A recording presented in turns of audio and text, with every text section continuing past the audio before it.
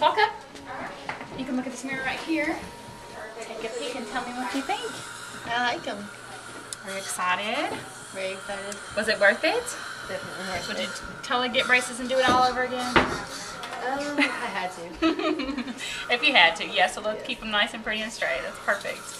Well, who is the first person you can't wait to show? My mom. What do you think she's gonna say? Uh, wow. Uh, Wow, you look so beautiful. You look so much older. I can't believe it. Long time coming. yeah. Well, you look absolutely beautiful. Smile at Miss Strayham real quick.